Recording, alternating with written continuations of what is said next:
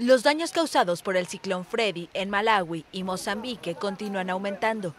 Ya son más de 100 los muertos por los devastadores vientos que han azotado a los dos países africanos en los últimos días.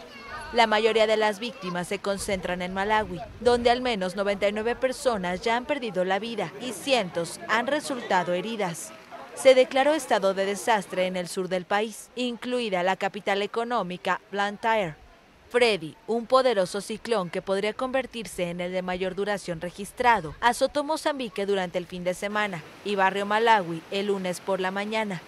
La Organización Meteorológica Mundial dijo que el fenómeno se formó en el noreste de Australia a principios de febrero. Antes de azotar Mozambique y Malawi, el ciclón Freddy atravesó todo el sur del Océano Índico y azotó hace dos semanas Madagascar, donde causó 10 muertos.